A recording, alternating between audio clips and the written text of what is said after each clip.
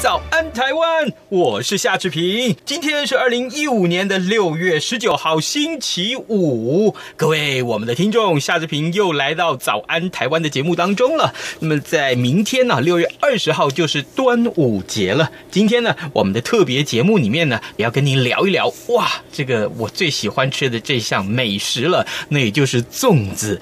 呃，我记得呢，在去年的节目里面，我们也曾经邀请到我们的访宾来跟大家聊。粽子啊，今年同样不例外。为什么呢？因为呢，讲到这些美食，当然我们的这个特别来宾要跟大家说清楚啊。呃，这个棒的食物，当然就要找棒的老师来解说，对不对呢？嗯，今天待会儿我们的这个美食单元，我们会跟您邀请到《旅读中国》杂志的石讲堂顾问黄学正黄老师来到节目当中，跟大家聊一聊哦，他最喜欢的粽子是什么呢？还有呢，志平也要把志平呃所。吃到的这些美味的粽子拿出来跟大家分享。不过呢，呃，你先不要太高兴啊，你是吃不到的啦哈。来，待会儿我们要请黄学正老师来到节目当中喽。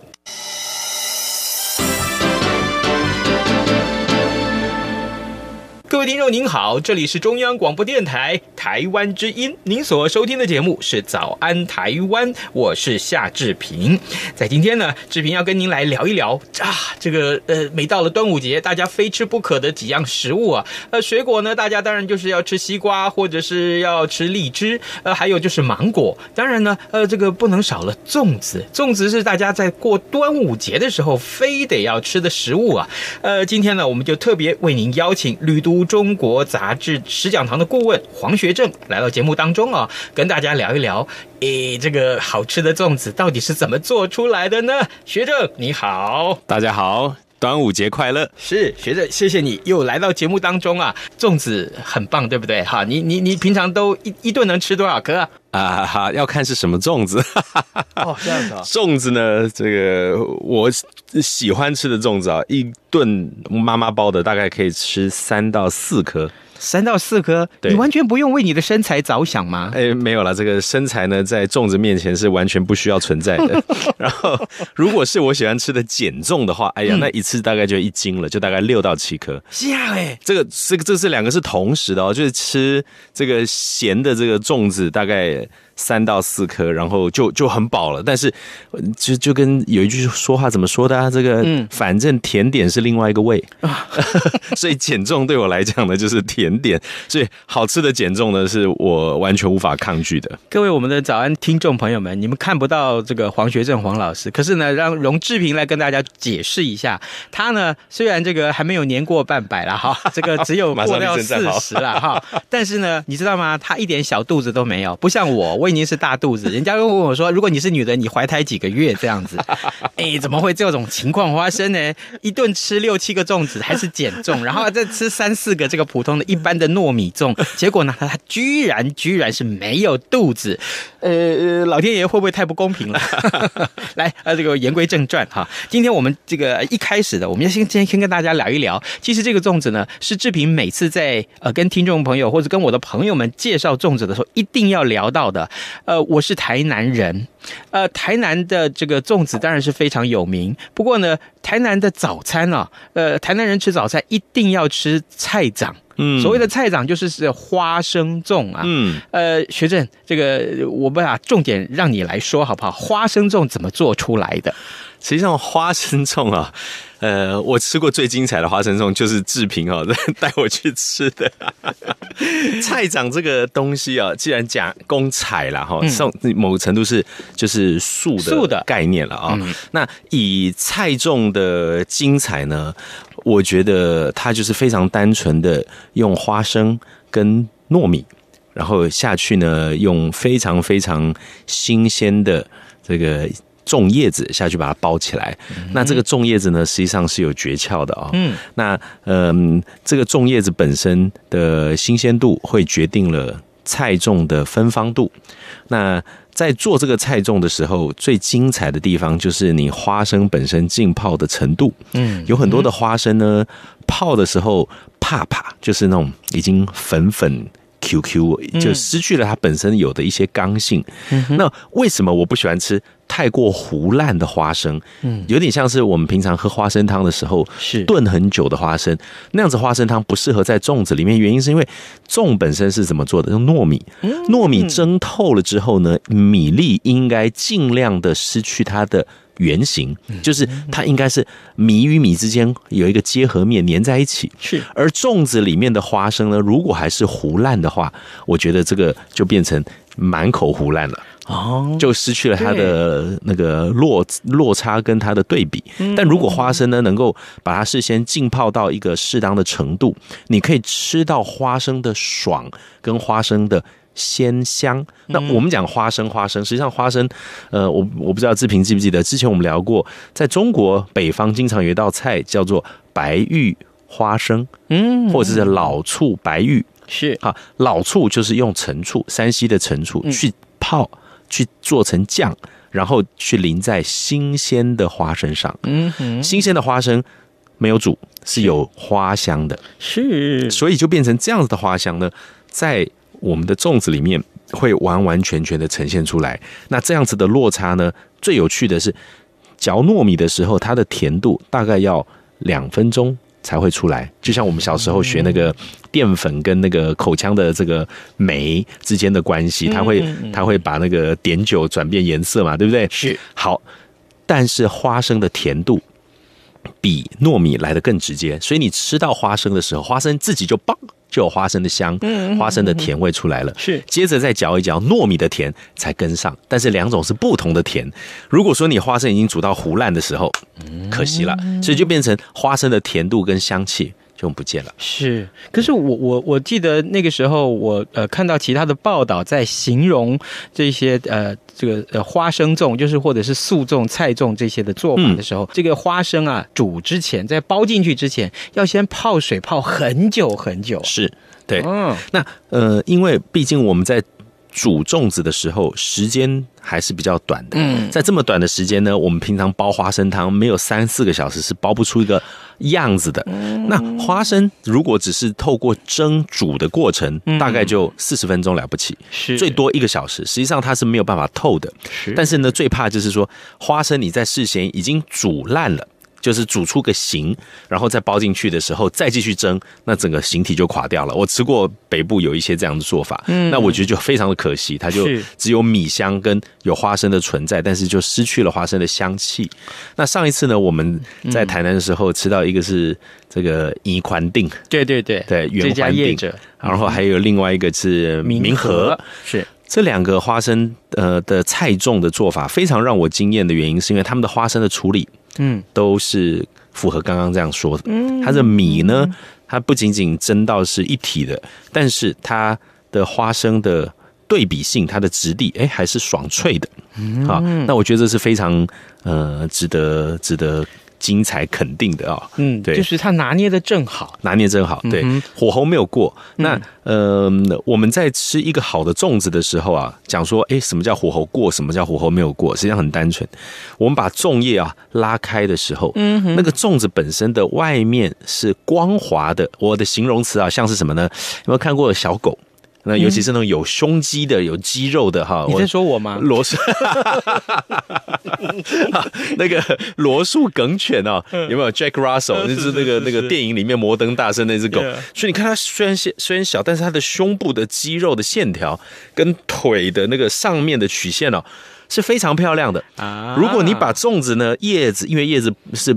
嗯，竹叶或者是各种不同香兰叶等等等的叶子，你把它拉开了之后呢，实际上你可以看到那个糯米的线条是非常像肌肉的线条，所以你应该把它拉开的时候呢，它那个线条是光滑的，而且你要知道粽子本身是一个是两个三角形的对接，嗯，所以你可以看到有有有锐角跟有。三角形的，有点像肌肉线条这样，所以你粽子做得好呢，你应该把粽叶拉开的时候，那个线条是连续光滑的，而不是几粒几粒呗，不是一颗一颗的米好像要垮掉，那就真不够了。是，但是呢，你如果拉开的时候呢，你的那个米已经糊到你拉开的时候，米都裂开，粘在你的粽叶上的时候，那就是表示这个已经是不知道回锅蒸过多少次了啊，所以这样子的米呢就。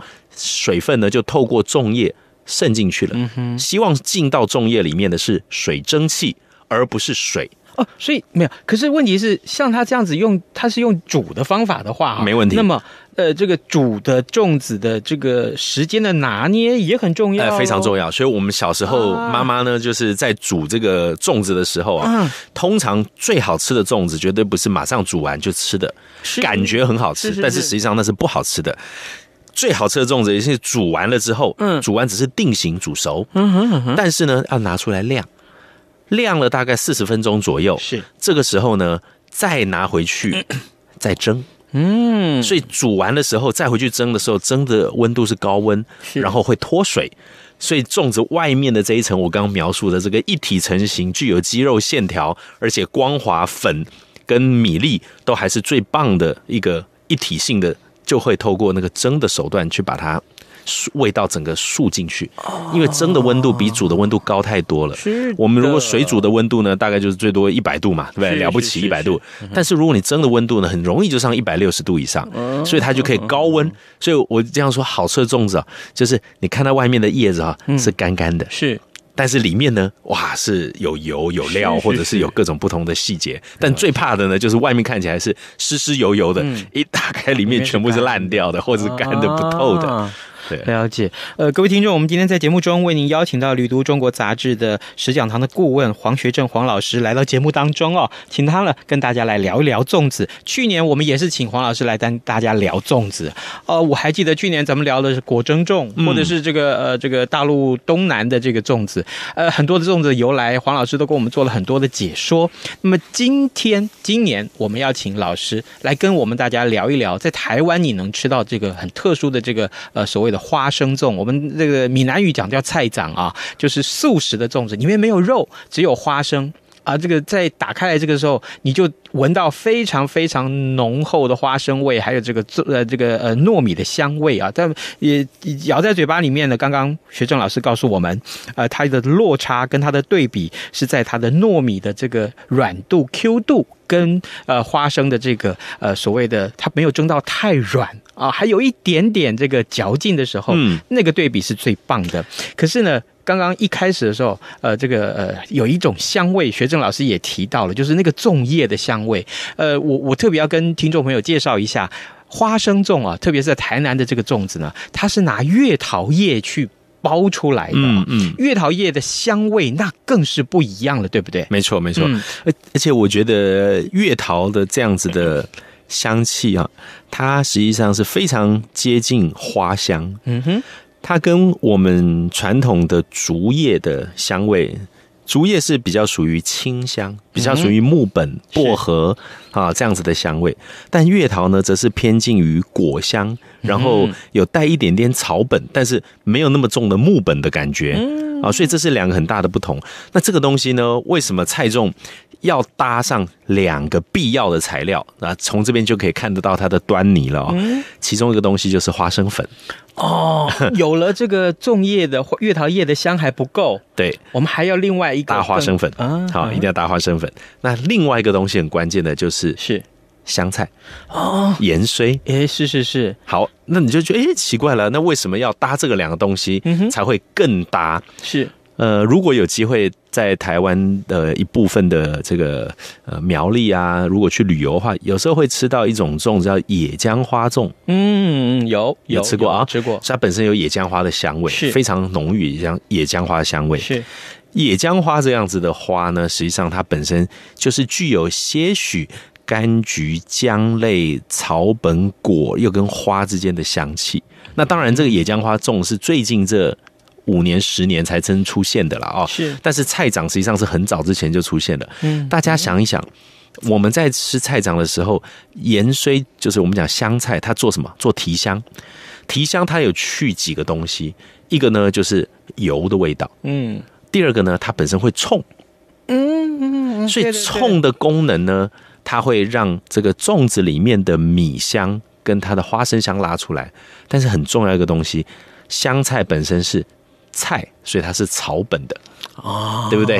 所以它把这个草本的甜香的东西是接上花生，把它导出来了这一段。嗯，但是另外一边呢，我们在配花生的时候就有两种版本啦，一种是是花生粉包进去里面蒸的，一种呢是花生粉在外面直接加上去嗯上去配的。是那是是，花生有什么差别呢？啊，差别实际上很大。嗯，花生这个东西要做成花生粉，你花生一定要怎样？先炒熟，是，炒熟之后经过碾磨。嗯那当大量的淀粉炒熟之后，它就一定会出现几个东西，一个就是所谓的油脂，嗯哼，另外一个呢就是所谓的这个焦糖淀粉的香气。嗯。好，因为它已经被炒熟了嘛，是。就像我们吃花生的时候，花生熟了之后，但是它本身是少糖的，因为他们传统用是吃咸的嘛，对不对？是是是。最后会加酱油膏啊，或者是其他的呃一些简单的 sauce 啊，简单的酱料，但是基本上你就会发现说，哦，原来花生的油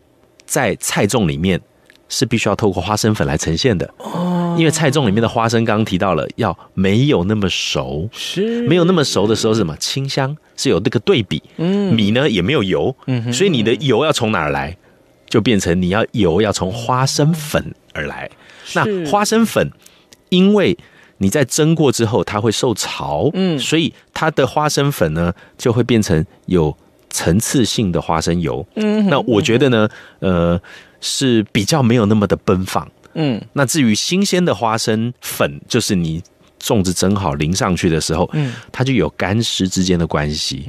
嗯所以你吃的时候呢，我觉得那花生粉就更奔放，因为干嘛。而且是另外一种对比，哎，是另外一种对比。那这个时候你就会发现说，哦，我有了一个非常隐晦的油，叫花生粉里面的油。嗯但是菜粽里面一点油都没有，就是有花生的清甜，然后有米的香，然后还有非常芬芳、没有被油盖住的月桃以及粽叶的香气。你知道，油一上了月桃叶，嗯完蛋了；油一上了粽叶，完蛋了。你你你仔细想，对不对？我们小时候包粽子最重要是什么？洗叶子啊，是那个叶子你没有洗干净，洗干净还不能有油在上面，然后同时呢要怎样？要晾干。嗯所以要晾干，它那个水蒸气才透得过。如果有油的话呢，水蒸气就被粽叶上那一层薄薄的油膜挡住了。所以目的是在补油，从种到花生到香气，然后最后呢，再借由这个新鲜的那个香菜啊，去把那个叶子的新鲜度把它拉出来，然后再补一些挥发性，所以就变成一个连续的香味。哦，所以原因是在这儿。原来是这个学问。呃，那问题来了，这个好，这个有人有些人说是他爱吃这个呃呃花生粉已经包在粽子里头去煮熟了的这种粽子，是有些人喜欢外加的。是，那假定这个如果说啦，如果说啦，呃，把这个已经包在里面的粽子外面再撒花生粉，再那个吹了哎，就 这个那就更好吃了。我一直想要开第三间，哦是哦是哈、好这个呃这个没想到。小小的一个只里面只有包一种馅料的，包一种花生的这个所谓的呃花生粽，就是所谓的菜粽菜长啊，在菜粽那个呃它的学问也是这么大。那么好，这个在台南呢，事实上你的早餐呢、如果是选择这样来东西当早餐的话，那么有刚刚这个学学政所告诉我们的，呃，里面有 Q 的糯米，嗯有一些小小一点点软脆软脆的花生，然后呢，呃，这样的香味再搭配到这个月桃叶的香味，然后上面呢，呃，这个淋上的是花生粉。啊，或者花生粉，可是已经在里面这个煮煮熟了。另外还有这个 N C，就是香菜。那更重要的是，这个台南人吃的这个稍微有一点点甜的这个呃呃酱油膏，嗯，啊，这样子搭配起来，哇，这个粽子就非常非常呃，这个几乎是九十五分，啊是是另外五分是什么呢？是它搭配的这个汤。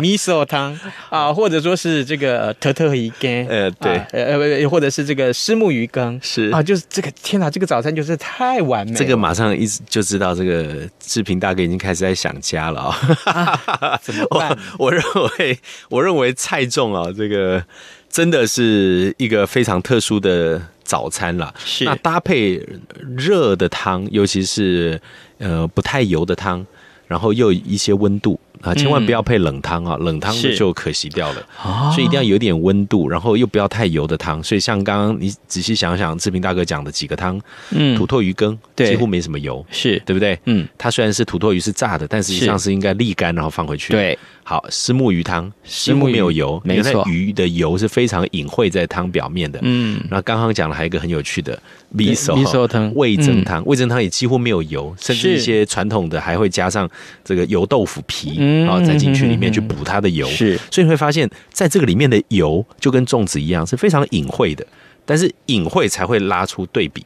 好，这个就是最精彩的一个地方。是好，这个美食的道理原来就在这里啊，呃，并不是每样东西的味道通通要到足，都要到这个顶端哈、这个才能够搭配出来好的东西。事实上有主有从，对不对啊？好，这个呃，我们今天先呃这一阶段的节目呢，先聊到这里啊。这个各位，我们在节目中为您邀请的是《旅读中国》杂志十讲堂的顾问黄学正黄老师来到节目当中，跟大家聊一聊呃这个台南在非常非常有名的这个花生粽啊。我们要先休息一下，待会儿我们回到节目的现场来，我们继续来跟您聊啊，这个我更爱吃的另外一种粽子了 哈，还是什么？我先卖个关子喽。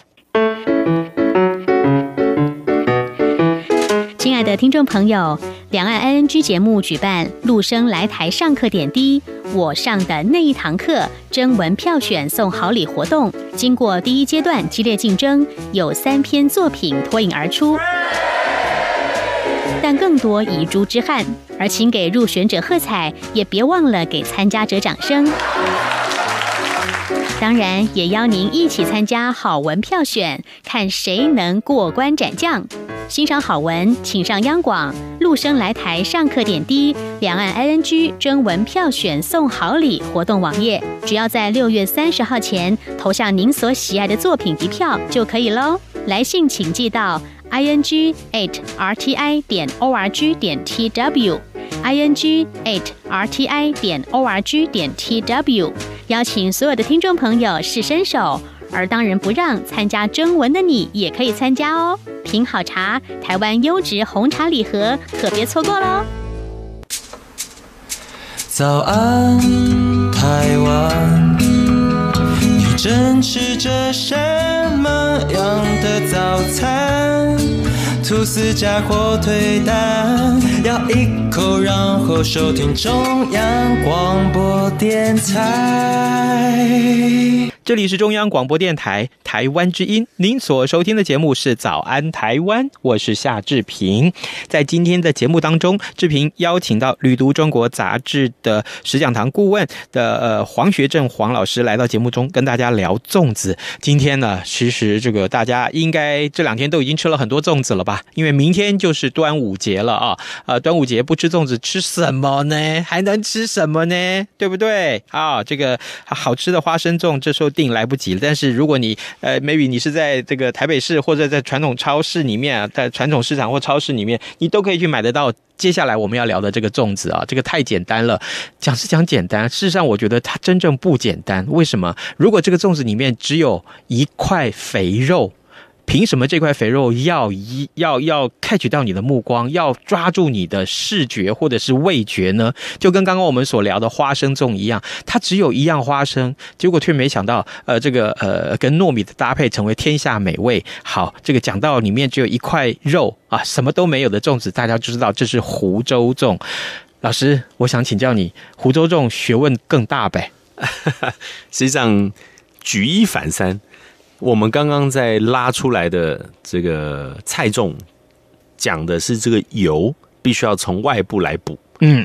湖州粽刚好反过来，啊，所以您刚刚讲的那一块肥肉，嗯实际上更精准的来讲，它是一块三层肥肉。嗯哼哼哼好，那为什么肥瘦相间，哎，肥瘦相间，嗯。肥瘦相间是很重要的，原因是因为这个粽子本身，它在做肉放到粽子的时候，它的肉实际上是生的，嗯。它不像是我们传统台湾的一些闽南的做法，它可能会把肉稍微过过一下，是。啊，有时候快火炒一下，外面让它变成定型，嗯。甚至还有一些会下去卤啊，甚至有一些呢，它会腌过之后呢，它还会快火去煮，然后煮完了之后呢，就很快的就杀个青就起来了。嗯。所以肉的使用呢，在这个上面是完全生的肉。嗯，那完全生的肉的时候呢，就变成你在煮它的功夫，就变成是等于是把里面的猪的猪油把它纳到整个粽子里。所以从这个角度，你就瞬间就哦，科学上的明白，米呢它会吸纳大量的油，嗯，那等于是米泡在油，然后被水下去煮蒸下去成型的。那这个米呢，会吸了大量的油，说出最在乎的东西就是那个油必须要煮到化。嗯，所以如果你的三层肉的油嗯。没有煮化，嗯，那就表示会恶心，是。对不对？对对对，你有煮化的时候呢，你从米一开始是米，就是米香，嗯哼，哎，米的缝隙里面是已经晕出来、已经化掉的油，你就开始越来越重。吃到中间呢，你所吃到的反而是那一块肉的甜，哦，这个是很有趣的。所以这刚好跟菜粽是两个是对立的，对。刚好相反过来的。程序上是相反，程序上相反过来的，啊。所以看似简单呢，但实际上它的米的这个泡米的时间，嗯，把水沥掉，然后可以晾多久的这个米本身的这个时间，会是一个很重要的关键。是。那再来呢，就是肉本身跟米之间的比例。嗯，所以这么多年呢、这个台北大概三个吧，哈，最出名的就是呃，以湖中粽子来讲，就是南门市场的这个丽家、嗯。南园、蔡万兴。是。啊，那这三间粽子，他们各有他们湖州粽的特点。嗯，那唯一不变的就是它本身的这个油跟本身的米之间的关系啊，都处理的非常的精彩，但是只不过油度不同。是。啊，有些人喜欢比较油的，有些人喜欢不油的。好，那其中呢，有趣的是蔡文兴他在里面会加一个蛋黄，所以它不是只有一块肉，是它是有是有一个鸭蛋黄加上一块肉。好，那这个是比较有趣的。是那为什么说它有趣？原因是因为鸭蛋黄实际上它也是油。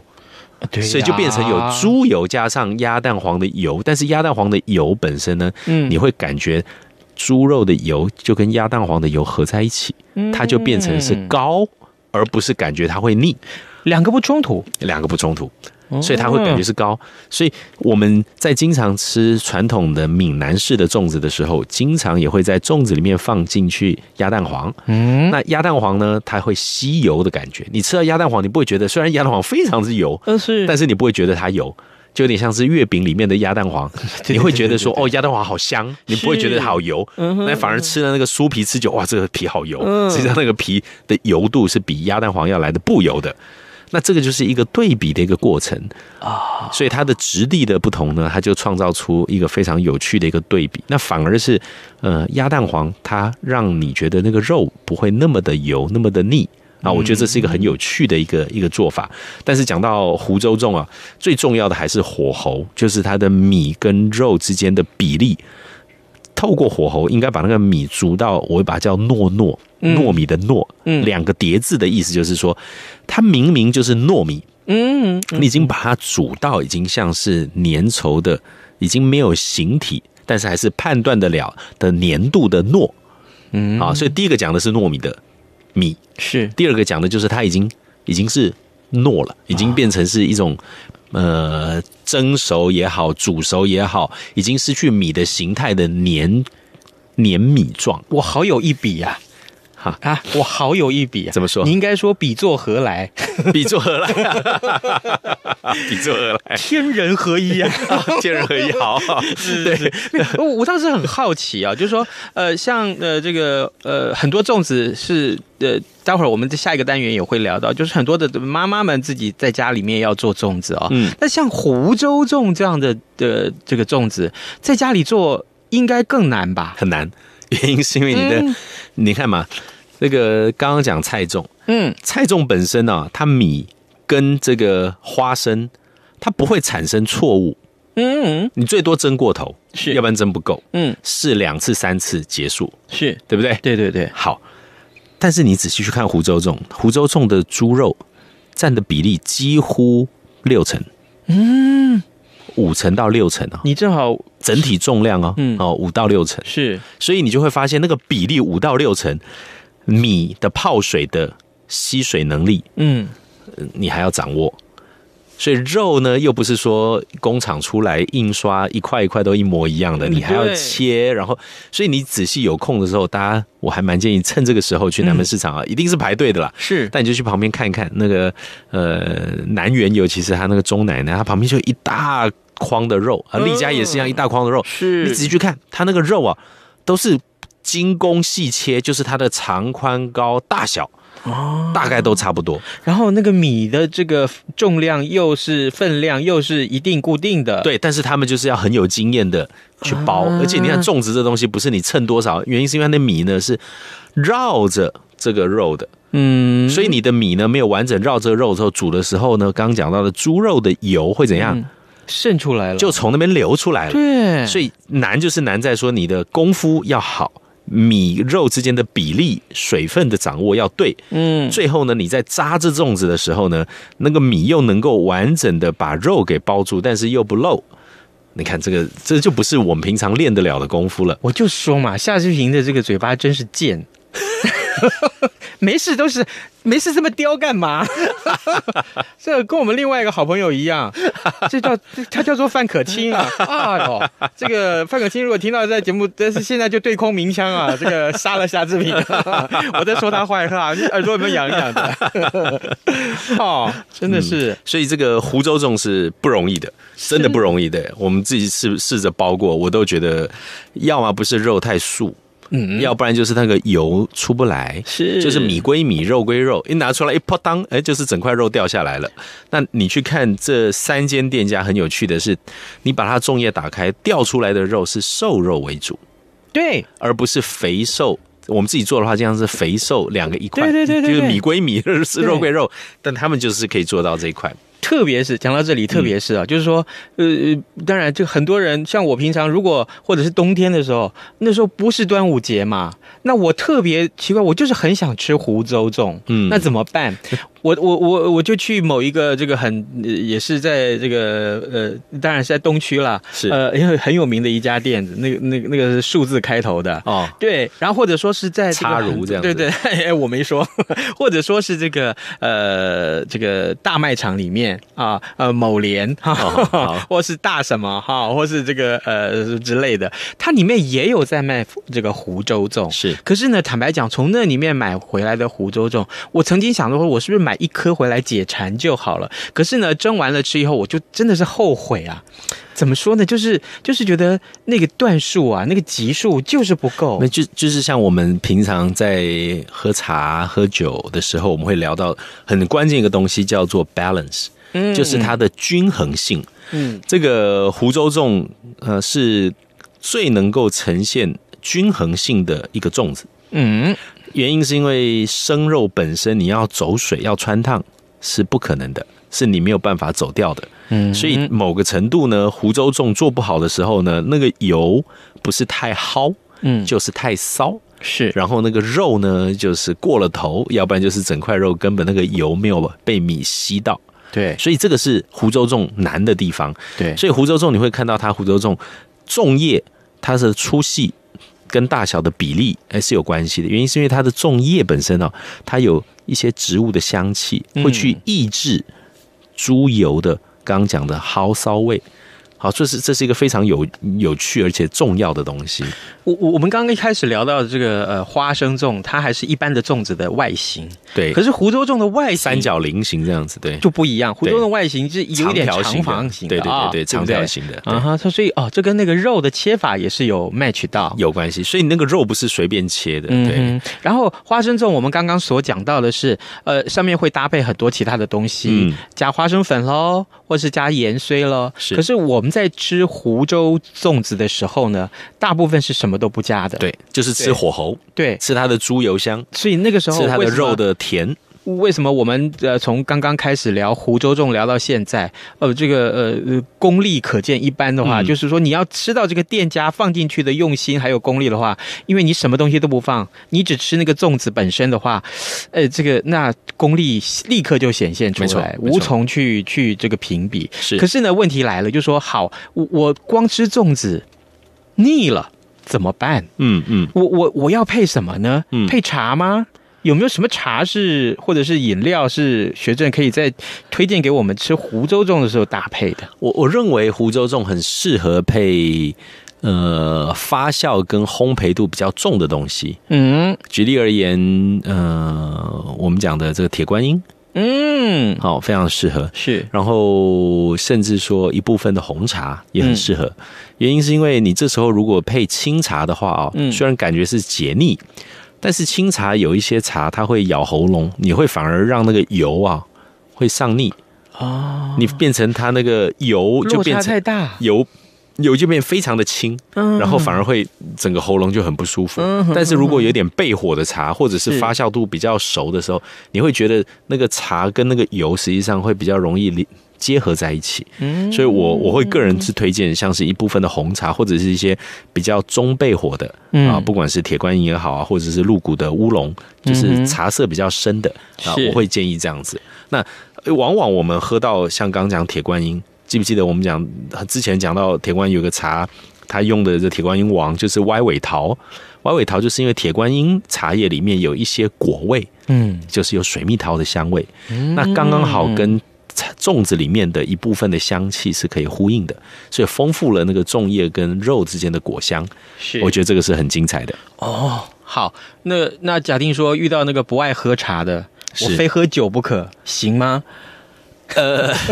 湖州粽啊，我老给你，我老给你出难题。当然可以，当然可以，当然，呃，这个中国人来讲的话，呃，湖州粽实际上本身是这个淮阳、江浙、江苏一带的一个一个传统嘛，啊、嗯嗯嗯。宁波啊这这个区域的，所以当然了，呃，这个我们讲的绍兴绝对是非常适合的。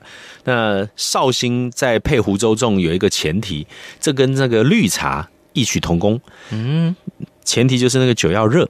是，因为如果你吃湖州粽的时候配热的绍兴，或是配陈绍，嗯它的温度可以化油，嗯因为它是木本的香味，是对不对？绍兴是木本米糠香嘛是是是嗯，那木本的香味如果是冷的时候，完蛋了，它会凝油。你的油呢就浮上来，然后反而更腻了是啊！但是呢，烈的呢，可能就我个人就不建议了。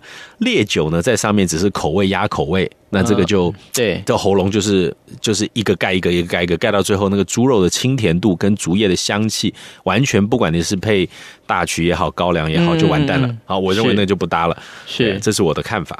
哦，好，这个喜欢这个不管什么事情吃什么的，呃，这个都要配这个烈酒的这个几几我们的好朋友几位朋友，你可能要注意，你叫我问的这个问题，我帮你问了啦哈，这个不要每事都喝那个什么烈酒白酒的，对不对啊？这个学学夏志平吧啊，来，呃，这个我们在这个阶段为您邀请到的这位受访者呢，是旅读中国杂志的石讲堂的顾问黄学正黄老师，来到节目当中跟大家聊一聊胡周粽。这个事实上聊吃的这个话题，真的时间是不够的啊。呃，特别是呢，我们每一次有这么多的食物要聊，而且这些食物的来龙去脉，我学正老师都要跟大家解释清楚。呃，它的特色怎么吃或怎么去搭，呃，这些通通都是学问。好，这个我们再休息一下，待会儿再回到节目里头来，我们跟您聊一聊另外几样你非吃不可的这个呃粽子到底有哪些呢？喂，你是在台湾读书的大陆学生吗？在台湾交流的多元感触无处抒发。嘿嘿，早安台湾发下英雄帖，广征一日节目主持人，即日起可以透过电子邮件报名，请速将个人履历及一日节目内容规划寄到电子信箱 tw 零零七 at rti 点 org 点 tw，书面审核通过后，就有机会到央广了解新闻直播流程和担任一日主持工作，留下难忘的台湾经验。对于台湾校园生活、风土民情、新闻时事，有不吐不快的想法吗？欢迎自认口齿清晰、气划够创意的陆生参加主持甄选，获选者将可获央广独家纪念品一份。心动吗？不如马上行动！早安，台湾，你正吃着什么样的早餐？吐司加火腿蛋，咬一口，然后收听中央广播电台。这里是中央广播电台台湾之音，您所收听的节目是《早安台湾》，我是夏志平。在今天的节目当中呢，啊、因为这个明天就是粽子节，呃就是端午节、龙舟节，粽子节，是是是，对啊，这个这三个都可以啊。外国人都把它叫龙舟节。对对对，Dragon Boat 啊的 Festival 啊，这个可是这个划龙舟的时候就要吃很多东西了，粽子就是其中一定要吃的。嗯呃，刚刚我们在节目的前半段呢、跟大家聊了有关于这个在台南非常有名的花生粽，也就是这个呃素菜粽啊菜粽。那么第二阶段我们聊的呢就是这个湖州粽，呃，两样粽子啊都大有来头，各有学问。但呢，接接下来我我我要这个特别来跟大家介绍啊，这个刚刚我们跟学正在这个休息的时候也在聊到的，这个呃我们都爱吃甜，嗯，啊，这个有一样东西也是非常非常值得来跟大家介绍。我想它的学问应该也不小。我因为我是没有特别这个呃吃到呃好吃的豆沙粽啊，那这回就请呃这个咱们的受访者黄学正黄老师来跟大家介绍豆沙粽它的学问又在什么地方呢？诶，在这么多的粽子里面呢、我认为糯米实际上是最适合做甜粽的，嗯最做做适合甜点的。哦，真的，嗯我认为糯米本身的质地是非常适合做甜食的啊、嗯你真的眼睛闭起来想一想，我们身边有多少的传统东方的甜食是糯米做的？哎对，多到翻掉，多到翻掉。原因是因为八宝芋泥。八好对八宝芋泥嗯。很多很多，反正就多到不行了啦。哦。是那米糕，米格姆对，然后我们吃的这个汤团，嗯。很多东西都是糯米做的。是咯。实际上早期你严格来看，呃，早期很多部落的文化里面的基本的饮食也都是用糯米，嗯哼反而不是像我们平常讲这种普通的这种梗米。哦是那糯米这个东西，实际上是中国人在以前古代到现在一直非常养胃的一个，呃，等于是食药兼具的一个食物。嗯啊，它你你胃不好，实际上吃糯米实际上是吸收是比较容易的，而且比较好的。好，那糯米本身的热量跟养分也相对的比较高，嗯所以在古老的一个文化里面呢，你能够在有限的时间里面获取比较高的热量。获取比较高的效率，哎、这个是一个比较好的食物，这是在比较古老的逻辑啦。那当然，随着时间的演进，变成很多的这种嗯米食的种类的增加之后呢，糯米这个东西开始变成我们的节庆食物。嗯那呃，刚刚讲到了这个甜食啊，呃，我个人觉得有两种粽子啊，是我这个这个呃打死不退的啊，这看到就灭。是是是呃，一个呢就是刚刚志平大哥讲的豆沙粽，啊是豆沙粽呢，嗯，大家都觉得这个豆沙粽就是粽子包豆沙嘛，嗯但实际上我觉得豆沙粽难呢，就是难在于豆沙蓉。嗯好，豆沙蓉就是我们讲的豆沙了啊。对对为什么要用“蓉”这个字？突然又再加豆沙的后面，我为什么我要这样讲是有原因的。哦我们传统吃的豆沙呢，我们经常把它叫做豆沙泥，是对不对？没错。泥跟蓉之间不同在哪儿？水分、油度、颗粒性。好，豆沙泥呢，就是你手指头捏它，你推它一下，就像、就像什么呢？就像那个凝固的这个奶油一样，嗯嗯嗯。你推它一下，它就凹进去，定型了，回不来了回不来了，嗯而且表面是光滑的，是表示它油度很高，嗯有点像我们讲的枣泥，有没有？就这种概念，是对不对？你手一下这叫豆沙泥。是豆沙蓉呢嗯？传统来讲，早期的豆沙真正的做法是把豆红豆下去煮，煮了下去碾碾成豆蓉。所以你真正去看古籍来讲，豆沙又叫做豆蓉，嗯就绒绒毛绒衣的绒，豆蓉。豆蓉的意思就是它会有葱葱郁郁这种，好像这个张牙舞爪。豆类的这个质地的粉状类的这样子的一个一个一个不均衡不就是不规则的一个一个一个呃堆叠的块状感觉你好会形容啊，所以这个就叫豆蓉 嗯啊。那豆蓉不够油的时候再补油进去。嗯，好了，，那就有趣了。我们刚刚从菜粽也讲到，油是从花生、淀粉类的东西进去补的。是讲到湖州粽是用猪肉本身的油内部经过蒸煮之后，由内向外的。嗯好了，豆沙粽它本身的油呢，当然就是来自于豆沙。嗯，但是豆沙本身在做的时候呢，过多的油就变成豆沙泥，恰当的油就变成豆沙蓉，嗯，不够的油就变成豆沙。哦这样子，所以你就会发现说，豆沙加粽子包出来的东西呢，嗯。就不香。原因是因为它没有足够的油，把水进行整合，再加上淀粉，你吃起来的时候就觉得 K K 这个例子呢，什么？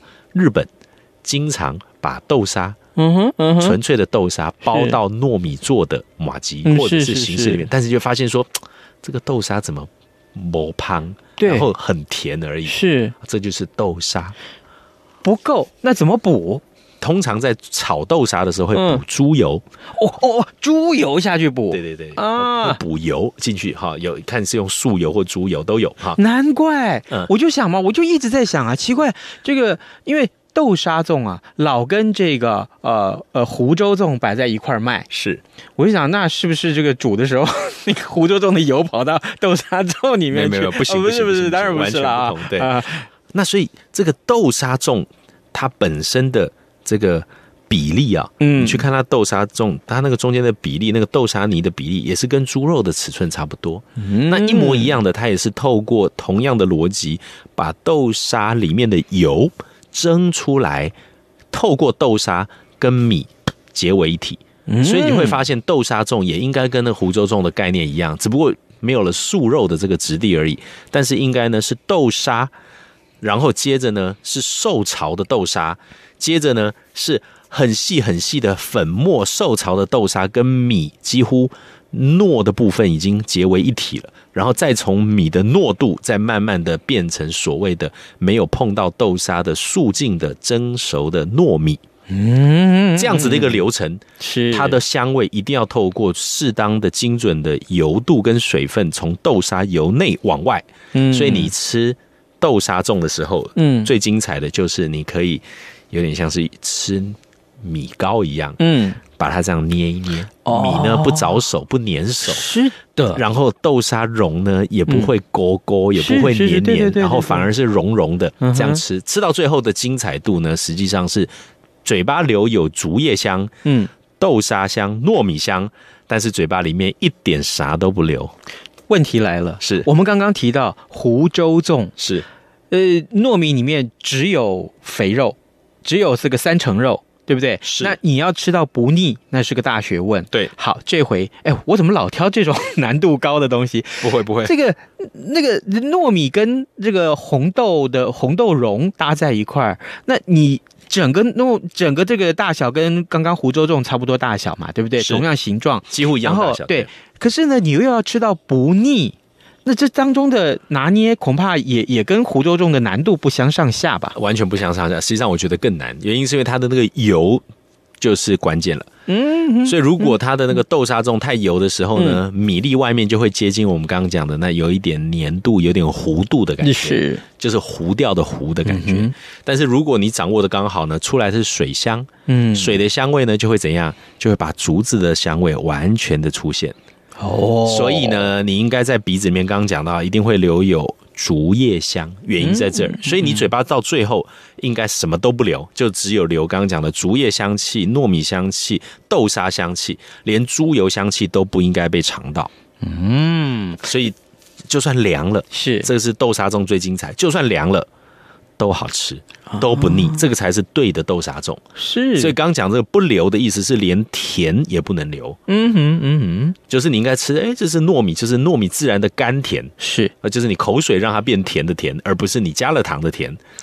所以豆沙呢，也应该是适当的甜，应该是什么都不留，也不会感觉是豆沙加了糖的甜，这是完全不同的甜哦。所以应该最后就是 balance，就是要均衡的一个状况，回到水跟口腔自然的一个甘美，但是呢，鼻腔却闻得到粽叶、红豆以以及糯米本身的香气。哦，你说的好像在在那个发声练习一样，口腔鼻腔的共鸣。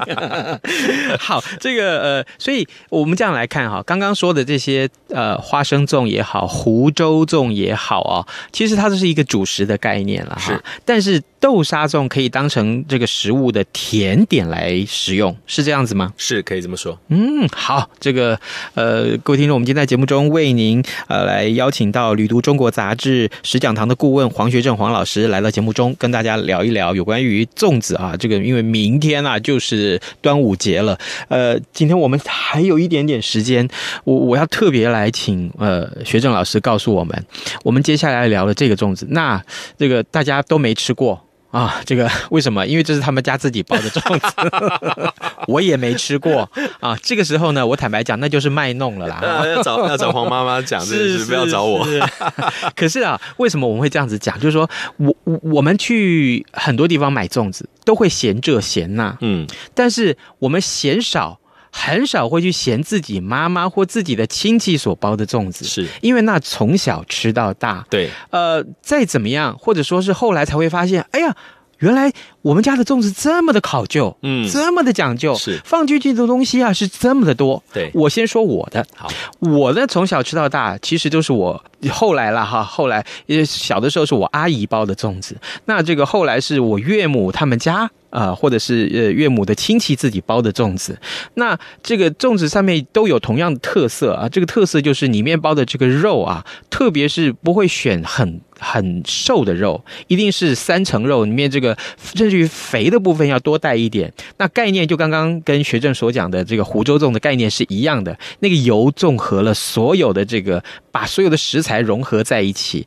然后里面放的这些食材，因为是自己吃的嘛，所以呢，呃，怎么样都舍得是是去放大的干贝，整颗的这个呃这个香菇啊，然后呢这个蛋黄或者是好的花生米，那呃你爱吃什么你放什么，其实这就是放诸四海皆准了。那学正，我要请你告诉我们，就是说你们家的这个粽子，我相信一定有特殊之处吧？有。啊，来来来，告诉我们好。了，你刚刚讲的呢，我们都有。是哎，实际上严格来讲，台湾非常的富裕，你知道吗？是吗？把这种瑶柱干贝这种东西放到粽子里面，大概是咯而且还举国通用啊！这这个是这真的是台湾非常的幸运啊！嗯，呃，我妈妈的做法呢，实际上我就经常之前我还想过，到底是南种北种啊，因为嗯又像是南种又像北种，原因是因为它也水煮啊，最后又蒸啊，啊然后它的料呢，实际上之前也都炒，是像里面用的芋头的芋角，它还先炸。哦，然后再来呢，就是干贝本身呢，呃，泡水不用说了，但是泡水之前呢，它有时候 can 汤哈，就是用红葱头下去过过油之后呢，有时候干贝会快速的走一下，嗯。取一些干贝的鲜味到那个酱汁里面，嗯。然后当然啦，会放金高黑啊，就是我们讲的金钩虾哦，这很普遍的。那当然有了金钩虾，有了干贝，已经算是海味具足了哦。是啊，但是呢，我妈妈呢，这不知道从什么时候开始了啊、嗯。因为我们是福州人嘛，嗯。那妈妈是厦门人，所以嗯就会加进去一个我目前在市面上从来没吃过。任何人有做类似的味道，啊，就是会放虾油，哎对对对对，虾油？对，然后在炒汁的时候，就嗯。做汁的时候会虾油会收那个虾油的锅气，嗯，哎呀，那个是好的不得了。然后就是吃那个粽子啊，那个嗯嘴巴会回甘飘香啊，现在讲的我都开始流口水了。这个是嗯我妈妈粽子，这个难怪完全外面没有得拼的，就是完全不用拼了，就是嗯光香气，呃，光口感，光就就是很多的东西，它就是呃已经就是变成你就算吃干贝，就吃干贝它的。那个，我我我我们很喜我我们家的猪肉以前用的比较油，现在过去十年，或许因为妈妈年龄的关系，嗯嗯呃，以前粽子就是包三四十斤，现在大概十斤，意思意思而已，很可惜啊、那但是它的佐料就很干乎啊。那我一直觉得说，端午实际上就是整年里面啊三大节：端午、中秋、冬至好，我们就讲这三大节。端午实际上是一个我觉得全家必须要动起来的唯一的日子。那你粽叶从前几天开始洗，开始晾，然后一直到搬那个蒸床，然后一直打钉子在墙上，准备要挂棉绳，然后煮完了之后要拜拜赶时间，然后又要晒干，然后小孩子要偷吃，然后又要教年轻的家里面的女性们要怎么样去包粽子，然后到时候包一包，哎，这个料不够，那个料不够，就想办法，哎，就好了，白果拿出来包，呃，这个红豆来不及泡，好了，红豆就边泡一半，然后就直接包进去。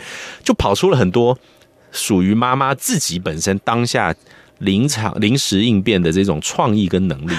那这样子的一个基础呢？那我想当时放虾油这件事情，我不知道是谁教我妈的，还是说就是说，哎，金高黑薄啊，嗯啊，薄安呢，can 胖薄，就爆这个香味，是就直接虾油下去，因为虾油本身比金高黑就比那个虾米还要更香嘛。是，结果一做下去，哇，那个好吃的不得了。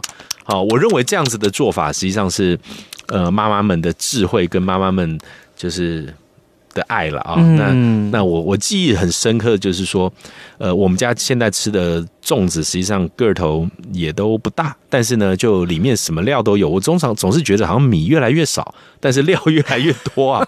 然后每一个粽子包起来啊，就像刚才的杰克罗素梗的那个肌肉一样，哇，都是被那个紧绷的，就好像意大利人穿衣服，衣服要小两号。那每一个都是崩的，然后那个粽子的末端屁股都是尖的，嗯，都非常的锐利，就表示说它绑的时候，因为糯米的时候你绑满，实际上它会吸水，吸水会鼓起来，所以才会变到那个形状。是太多的时候，嘣冒出来的就不及格了啊。对，那不及格了就水就跑进去了，就会整个米就垮掉了。对对对。所以这样子的一个一个香味，反而吃出了一个梗味，就是在糯米里面的软度出现了 Q 度，然后出现了米粒。但是因为水吸的不多，但是它又产生了糯，就是一颗一颗已经粘在一起了。但是你还可以吃到它的梗性，就是一颗米粒米粒的，就是外面是粘着，但是吃到一吃到它的梗性，又分不出它的一粒一粒的感觉。但是它又是一粒一粒的，所以类似这样子很模糊，但是又非常浓郁的的状况，你就会口水就会特别的多，然后再加上丰富的材料。然后我记得有有有一次不知道怎么样心血来潮，就跟妈妈说：“哎，妈妈，你今米怎么用这么少，这么多料啊？这整颗里面都是料，你知道吗？四分之三全部是料，剩下四分之一是米。是。那妈妈就说：哎，这个就今天这次米买的不够，泡的不够，所以就两颗 两颗蛋黄啊，是，然后两块猪肉，两块香菇，两颗干贝，哇，米剩一点点，哇，所以类似这样的东西，嗯，然后好了，反正。我觉得最后呢，我觉得最难忘的啊，我也是在我文章里面写，就是说妈妈有时候，因为我从小就是最小的嘛，嗯，在厨房里面看妈妈进进出出，尤其是做这个端午的时候，嗯哼，妈妈我就会说，你垮，把这长爱开冰又安，嗯，就用棉线把它绷紧，是。绷紧这件事情呢，实际上两片叶子，嗯。呃，两个三角形对立，然后一条绳子把它。绷在一起是这这个里面这么多的丰富的材料，实际上就很像我们的家，嗯，我们的家人是。所以妈妈说：“哎，该冰有安，就是要把它绷紧。”嗯，那所以让我经常觉得说：“哎呀，实际上准备一个从前几天一直到最后准备出来的粽子啊，这个是要比这个中秋节去买个月饼，或者是冬至去买个汤圆。”只是以牙扯，请人家磨一下，那个要来的复杂太多了。是，那有时候端午节的时候，小孩子我是很开心的，要哎，这个要中午的时候蘸鸡蛋，嗯，对不对？那以前的时候还会，哦，时间到了，划龙舟都不知道热闹什么，就看到比赛划龙舟，在那旁边吆喝这样。所以这个是全家难得而且很难忘的一个一个日子。嗯，那我觉得这个日子真的不输中秋，也不输。冬至更不输过年了，嗯，所以也也谢谢妈妈们，这个用这条绳子啊，把咱们这个绷在一起，是。哦，把这个全家的感情啊，跟生命啊，这个 紧紧的绑在一起。对对对对，各位听众，嗯，这个我们聊吃，其实最大的快乐也就是在这里啊，知道了什么东西好吃，怎么吃，搭什么才能吃之外呢，我们从吃这些东西的时候，可以啊来延伸到。呃这么好的一些联想。呃学正今天在节目中跟我们的分享啊，呃，也许一条绳子可以把呃粽子绑得非常非常的扎实，但这也正是就是像这些节日一样，把一家大小啊从四面八方牢牢的召回来，然后呢，好好的绑在一起啊，增进了彼此的关系啊，不会因为距离的疏远而疏远。嗯，我觉得这就是过节的意义啊，这也是我们今天吃这些美食很重要的意义啊。相信呢，呃，有了这一层意义，它不仅只是美食而已了。我们今天非常谢谢《旅途中国》杂志的石讲堂的顾问黄学正来到节目当中，学正，谢谢你，太精彩了。好，端午节快乐喽！端午节快乐谢谢妈妈。拜拜。